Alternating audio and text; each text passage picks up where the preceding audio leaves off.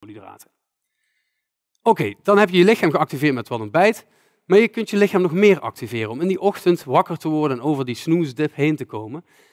Je lichaam is in feite gewoon een bewegingsapparaat. Je kan dus ermee bewegen. Nou goed, dat klinkt misschien een beetje flauw, maar doe dat ook. Ga in de ochtend gewoon ook gerust even bewegen, want leren is meestal heel lang stilzitten en dat is niet zo goed voor je brein. Bewegen is heel goed om dat lichaam actief te krijgen in de ochtend.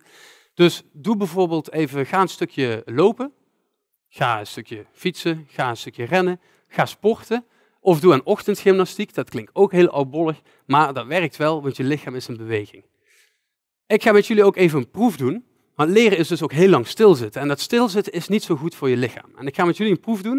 Ik hoop dat jullie allemaal even meedoen. Op het moment dat ik zeg staan, gaan jullie staan. En op het moment dat ik zeg zitten, gaan jullie zitten. En we doen het vrij snel.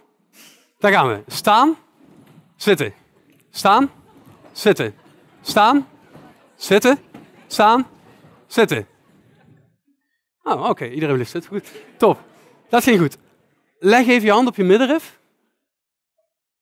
En probeer even te voelen wat je voelt. Als het goed is, voel je een verhoogde hartslag. Verhoogde ademhaling. Je voelt dus dat je lichaam iets is aan het doen. Jij zegt je nogal wie dus, je hebt met vier keer laten staan en zitten.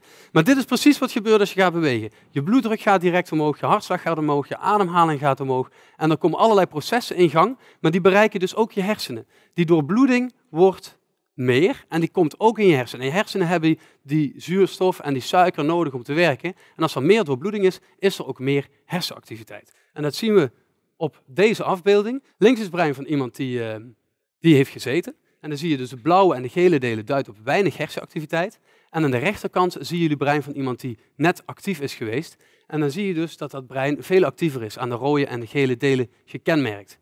Nou, als je langere tijd beweegt, minimaal 10 minuten matig intensief, dus verhoogde hartslag, verhoogde ademhaling, dan krijg je ook een betere afgifte van neurotrofines en neurotransmitters. Dat zien jullie op de volgende afbeelding. Nou, ik ga even uitleggen wat we hier zien. We zien hier twee zenuwcellen die met elkaar in verbinding staan. Je hele brein zit vol met zenuwcellen.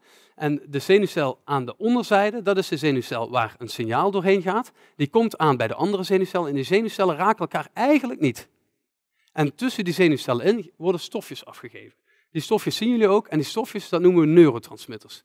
Nou, op het moment dat je flink bewogen hebt, worden er meer neurotransmitters aangemaakt, waardoor de hersenactiviteit omhoog gaat. En juist dat is bevorderlijk voor het leren. Nou, dan denk je, oké, neurotransmitters zei je, en je zei neurotrofines. Nou, neurotrofines, dat zijn andere stofjes, die zorgen voor meer van dit soort verbindingen. En dat de verbindingen die geactiveerd worden in je hersenen als gevolg van leren, dat die ook krachtiger worden. Dus je leert beter onder invloed van een beetje beweging. Nou, ik zei al, dat staan zitten is natuurlijk een beetje zullig. Je gaat natuurlijk niet tien minuten lang eh, staan zitten, staan zitten. Ga een stukje lopen en zorg dan dat je snelheid zo hoog is dat je in ieder geval die verhoogde hartslag en die verhoogde ademhaling hebt. En nog beter is natuurlijk als je een beetje gaat sporten. Nou, dan kun je denken, joh, hè, leren is lang stilzitten. Jij staat toch ook? Jij slentert toch? Is dat, is dat niet ook genoeg?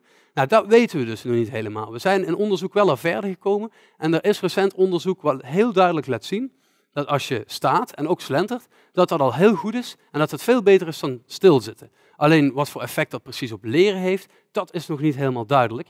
En wij gaan binnenkort, een, een aantal collega's en ik, gaan binnenkort beginnen met een driejarig onderzoek, waarbij we dus in het mbo leerlingen gaan laten staan tijdens het onderwijs. En ook gaan laten slenteren. En dan gaan we kijken of dat effect heeft. Dus dat wordt nog onderzocht en daar gaan we op terugkomen. Het zou natuurlijk wel heel tof zijn als we over een aantal jaar gewoon staan in de collegezaal en staand onderwijs volgen. Dat is ook een veel actievere houding. Een laatste effect